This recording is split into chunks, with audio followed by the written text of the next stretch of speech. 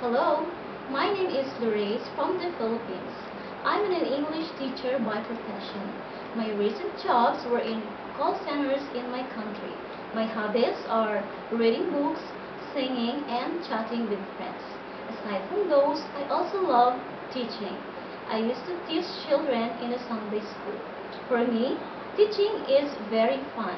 It involves sharing of what you have, learning also from them, and bringing them hope and joy. As your online English teacher, I will do my best for you to enjoy as you learn English proficiently. God bless and see you in my class.